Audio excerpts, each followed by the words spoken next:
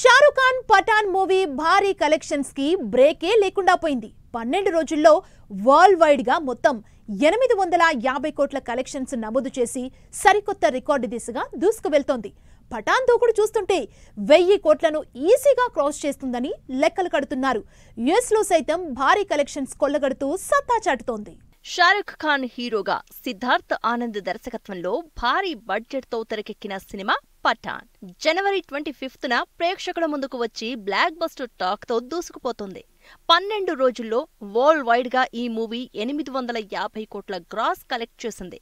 రెగ్యులర్గా ఈ cinema collections పై బాలీవుడ్ ఫిల్మ్ క్రిటిక్స్ అప్డేట్స్ ఇస్తున్నారు. ఇండస్ట్రీ రికార్డులు తిరగరాస్తుందని చెప్తున్నారు. బాలీవుడ్ మీడియా మొత్తం పఠాన్ సినిమాని ఆకాశానికెత్తేస్తోంది. ఓవర్సీస్ లోనూ పఠాన్ భారీ కలెక్షన్స్తో దూసుకుపోతోంది. Triple R Baahubali two full రన్స్ను Japan China release లేకుండా ఈజీగా క్రాస్ చేసే ఛాన్సెస్ ఉన్నాయి.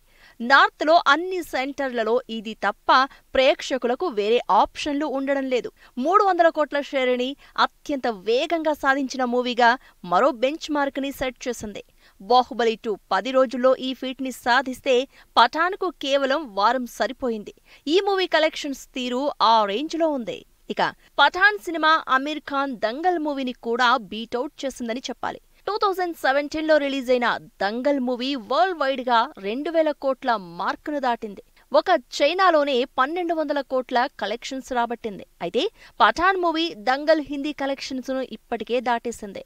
దంగల్ బాలీవుడ్లో ఎనిమిది వందల కోట్లు కలెక్ట్ చేసింది. పఠాన్ పన్నెండు రోజుల్లో మొత్తం ఎనిమిది వందల యాభై కోట్లు కొల్లగొట్టి వెయ్యి కోట్ల దిశగా దూసుకుపోతోంది. పఠాన్ ఈ ఫీట్ సాధించడానికి ఎన్నో రోజులు పట్టదని ట్రేడ్ వర్గాలు అంచనా వేస్తున్నారు.